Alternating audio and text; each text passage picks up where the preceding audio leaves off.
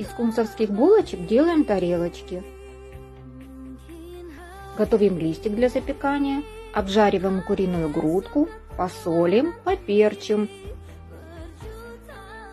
Грибочки до золотистого цвета.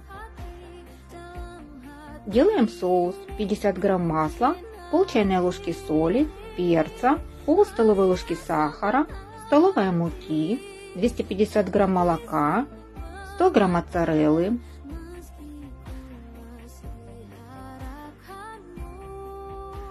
Наполняем куриными кусочками и грибами. Хорошо поливаем соусом в разогретую духовку на 10-15 минут. Сверху похрустывающий хлебушек, а внутри нежный и сочный жульен.